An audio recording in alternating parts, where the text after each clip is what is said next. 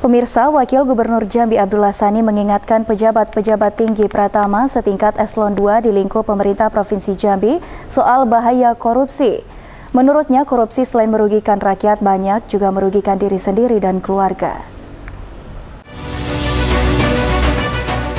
Bertempat di gedung Badan Pengembangan Sumber Daya Manusia BPSDM Provinsi Jambi, Wakil Gubernur Jambi Abdullah Sani membuka pelaksanaan penyuluhan anti korupsi bagi jabatan pimpinan tinggi Pratama di lingkup Pemprov Jambi dengan menggandeng Kejaksaan Tinggi Jambi dan Master Penyuluh Anti Korupsi KPK RI pada Jumat 28 Oktober 2022.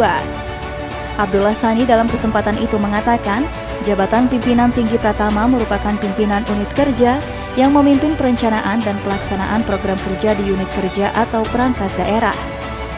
Sebagai pimpinan diharapkan dapat menerapkan prinsip-prinsip pemerintah yang bersih dan pemerintah yang baik. Sebab itu pembekalan tentang bahaya korupsi perlu agar tercipta tata kelola pemerintahan yang baik. Menurut Abdullah Sani, korupsi menyebabkan banyak dampak, baik bagi masyarakat luas maupun keluarga. Ia berharap apa yang ditekankan dalam penyuluhan tersebut bisa diterapkan oleh seluruh pejabat tinggi Pratama sehingga berakumulasi terhadap tata kelola pemerintahan Provinsi Jambi yang jauh lebih baik lagi. Mudah-mudahan para pimpinan pejabat tinggi Pratama ini yang ada di Provinsi Jambi ini akan melaksanakan apa yang menjadi tugasnya dengan memperhatikan indikator-indikator apa dan menjauhi apa hal yang bisa menurunkan kualitas bagaimana good government dan clean government.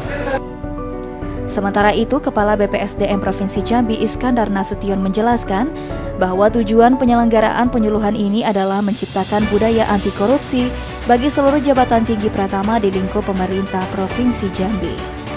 Salah satu bentuk dari komitmen BPSDM dengan KPK bahwa di uh, Provinsi Jambi BPSDM harus uh, melaksanakan dalam bentuk uh, kegiatan-kegiatan pengembangan uh, kompetensi atau juga pelatihan-pelatihan memasukkan materi tentang uh, anti korupsi dan juga kami diminta untuk melaksanakan satu kegiatan yang memang utuh tentang uh, anti uh, budaya atau anti budaya anti korupsi di pemerintah Provinsi Jambi dan alhamdulillah memang hari ini terlaksana dari kemarin sebenarnya kemarin itu untuk pejabat uh, administrator eselon 3 dan hari ini untuk pejabat pimpinan tinggi pertamanya. Rian Cencen, JEK TV, melaporkan.